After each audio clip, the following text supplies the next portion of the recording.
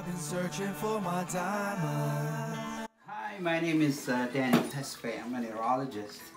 I've tried this device and um, I think it's going to be a good tool for kids who are particularly gamers and who can interact with computers. Then their kids are more savvy than adults to uh, get results with this. But for adults, uh, I think it's more challenging for adults than kids, but I think this type of interactive devices could be helpful. Thank you. Cells work cause you always gonna build new connections. Yeah, masterminded with a reach. Masterminded with AREACH. The path and that's half the climb and we masterminded with a reach.